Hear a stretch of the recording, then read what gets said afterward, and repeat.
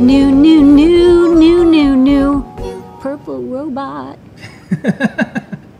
I don't Okay. know. I don't know where that came from. All right, so this Okay. is uh, a little bit of an update, but it, we just have this in the store now. This is the Uh, yeah, we have a, a code.org kit. This is coming soon. We'll chat about it more later, but if you want to uh, do code.org at home, you'll be able to sign up for this. Okay, this is fun. Okay, so we've been carrying Chibitronic stuff from Jie Qi um, and Bunnie Huang, who's helping a little bit with some manufacturing stuff with her. But it's Jie Qi's project, and she has come up with a wonderful curriculum uh, called Love to Code Volume 1. Um, that's MakeCode and the Love to Code clip. And I thought I would show off a little bit of using the clip, the Chibi clip. Yeah. And this is her little characters, and it's uh, Fern the Frog and, and her adventures through learning electronics and crafting and paper craft. Um, and I'm really into, as you can tell, we're into paper and uh, cardboard electronics. So let me stuff right here. grab it. Yeah, I'm, I'm grabbing it. So um, this comes as a uh, pack of pages. It doesn't come with a binder um, because it's actually meant to be an add-on pack for the starter kit that we'll be carrying on soon. But you can get a binder and just and bind it yourself. It comes um, together. And it's, it's like really beautifully illustrated. And there's a story. And then this is the Chibi uh, clip that you're going to be programming with. And you can program it with MakeCode, so it's drag and drop programming. And the neat thing is it uses an audio cable, so you don't even need USB. It's it's actually not even drag and drop. It's like audio. It programs it through the, the headphone jack, so you can use it with any computer that has headphone out, including a, a tablet or a phone. And so this is basically you get the Chibi clip and an LED pack, and then you can go through all these uh, I like projects. that the pages are binder based, so you can make it so it folds flat. Yeah, and, and you can workshop. and you can take out pieces like you can take them out and like Xerox them and, and pass them around. That's So smart. it is it's a really cool idea. Again, more beautiful drawings showing an LED and how LEDs work.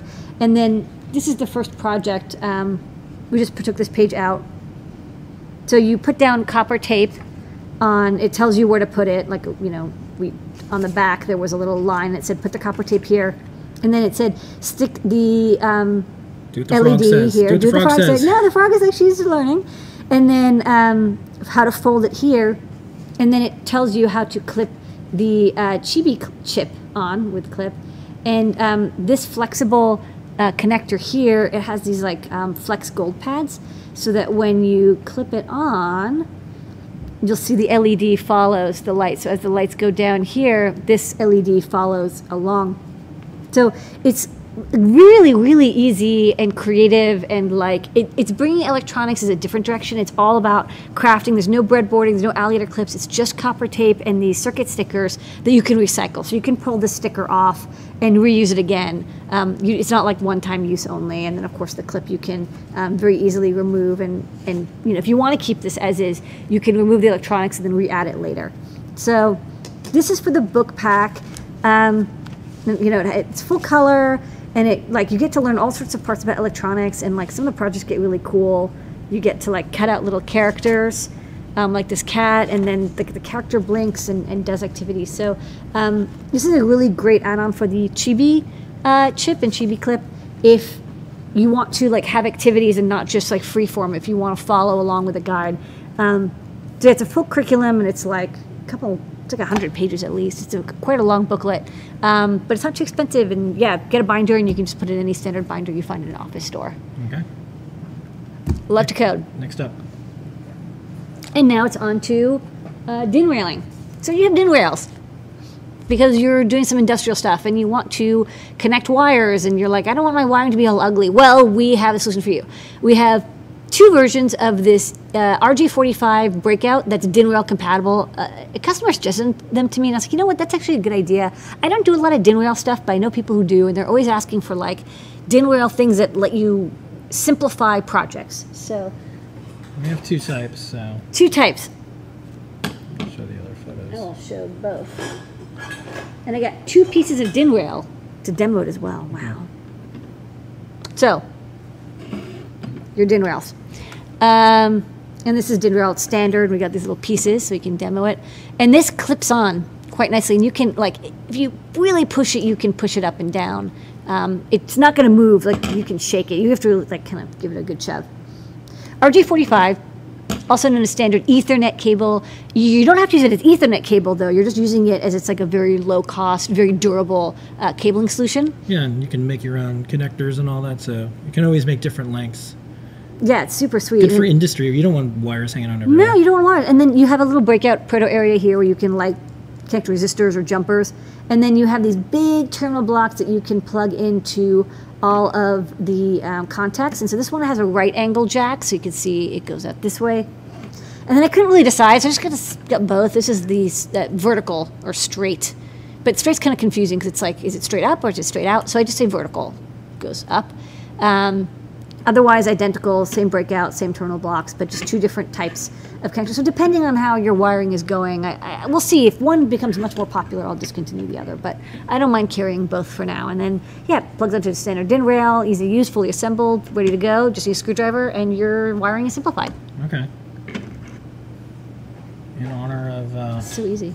Purple Robot. Here's Purple Robot. Purple robot. I just want to see you roving, purple robot.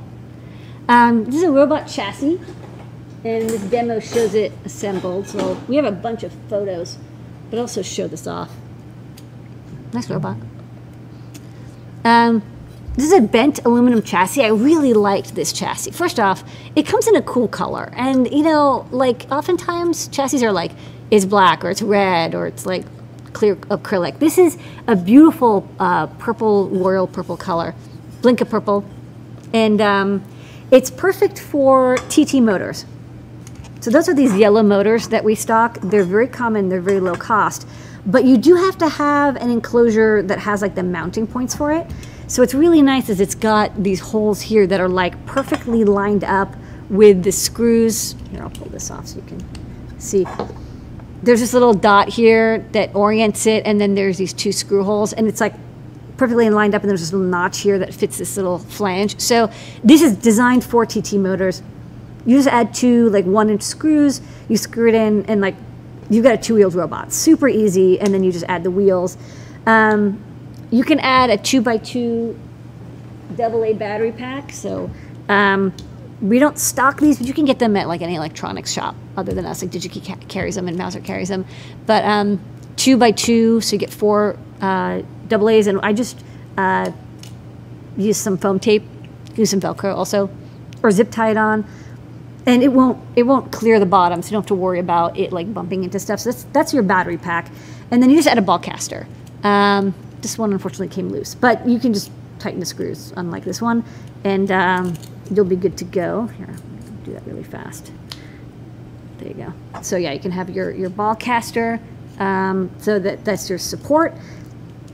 And and then on the top you've got tons of space. I put a breadboard, but you can put like anything. And there's just like so many mounting slots and holes. And this is a micro servo cutout. You could like attach an Arduino or a Raspberry Pi. Like you basically have so many options.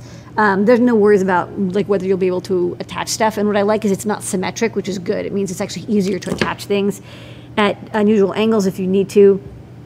And there's like slots in the front, and then there's this, these weird slots over here, and there's slots on the side, and then there's these like little things that you can attach LEDs to. So it's, you know, it doesn't have too many holes, but it has the, just the right number to Yeah. attach stuff, which I like. Um, sometimes they go a little crazy and they add so many, you're like, it, it's barely a chassis anymore. But this is still very strong, bent. It's two millimeter thick aluminum, high quality, and it has uh, tons of, you know, you can attach a line following sensor, whatever you want. So we have a, a ni- I, I like this. This is a nice rectangular chassis. We have a round chassis as well, but now we have a rectangular one. So Okay. Well, go us. the, the star of the show tonight, besides you and our community lady, I, I put this one here because I, I like I like things that make Adapt things, things. other things work well. This is actually together. my favorite too. yeah. See, It's just a piece of didn't, even ask plastic. I didn't even ask you about this. It's like- not like, even- this is my favorite. You're like, what is this like? It's it's a like one gram piece of plastic. Yes, but it's very But it's the right one gram piece of plastic. So Yeah. this is a adapter that goes from TT motors to Lego axles or compatibles. Lego compatible brick. I don't know. I don't want to use Lego Dash compatible. Lego Dash compatible. So, Yeah. um, again, these TT motors, I really like them. They're low cost, very popular. So you'll see like a lot of the stuff that we're carrying is TT motor compatible. So I'm trying to make it so when you use our motors, it's not like haha, like you got these motors, good luck. We have all these wheels and accessories and sensors and and things that plug into it, so you can build your project, and and it's all fairly low cost parts, but has a lot of capabilities. So this has exactly the right notch inside, like it has to be, has this like oval shape. So this oval shape clips on here, and it's like a totally snug fit. Like it, unless you Yeah. really, now it's kind of on purpose. I've been well, doing so much stuff with robotics. Having that little piece that can go on to these TT motors is really handy, just generally speaking. Because otherwise, you have to do a bunch of stuff to get the motor to do the. No, you can glue. There's a screw, but it's like this is this is really Uh. nice. And then it gives you a nice long axle. You can cut this down. If it's like, why is it so long? You don't have to have it this long. I think it's long so you can clear whatever you know mounting system you have, but doesn't long. You can cut it down very easily. It's just plastic, Yeah. and it's exactly the right shape for press fitting onto Lego compatible gears. So now your TT motor is compatible with Lego Technics and Mindstorms and anything else that uses the Lego system. There's wheels and accessories and cams that work on it. I like it. This has like an offset version, so you can like use this as a cam Yep. to um, to have weird motion. So this lets you extend. Don't get me wrong. Actually, I like the Lego motor system, but it's you're not going to be able to program it in Python or CircuitPython or That's right. Arduino. No, that's what. I, uh, Now you can do MakeCode. yeah, what I like is it allows you to do more with what you have. you get more, and these motors are really inexpensive. It's like two or three dollars. So if you have like a WeDo kit, you know the motors are really really nice. They're very powerful, but they're more than three dollars. Yeah. So maybe you can like build some of your project in Lego and then use a Crickit or Circuit Playground or Arduino and these TT motors, which are very easy to use. Mount it on, and then you can interface with the less, rest of your, your Lego creation. So I think this is neat. I like things that cross boundaries, and this is a boundary crossing item. So when I saw this, I was like, oh my god, this is totally solves a problem that I didn't even know we had. Like I'd never seen an adapter for this kind of stuff. Yeah. Um, and some people have like 3D printed this sort of thing, but Yeah. What's neat this is is nice injection there's a lot of folks have. Legos and they're just like, oh, like they're just they don't do anything, or I'm interested in other things right now. But then you can combine the two. Yeah, Um, there's a lot of um, kids who have Legos, and then there's like, here's a STEM bot, and it's like three hundred dollars, and just like draws a line or something like that. Turns out you could probably just enhance the, the Legos that you have with something like this, and then build whatever type of things you Another want. thing is you've been picking up a lot of um, robot gears and stuff, and the, the the robot gears that you're getting, it's not that they aren't good quality; they're totally fine, but they're like, they're not like Lego where they're like really big and chunky and everything. Like I'm sampling all of them just to, you, Yeah. just like you have your. I have a sample tray. Yeah, you have a bin of like Arduino killers every time someone came out with an Arduino killer. So we have I have a bin of just every type of gear, and they're unusable. they're, Yeah, they're the really hard to Lego use. Lego ones are really good. And of course, you know, it also comes with on the other side you can build the you know it's not just the gear that you need, but you have everything that holds the rack and the pinion in place. So the you know when you're in the Lego system, that all that stuff works quite well. So I think this is you know we'll do some projects where we take a Crickit and, and attach a Lego stuff to it and, and Yep. make Lego creation. So this is this is my favorite product this week. And with that is.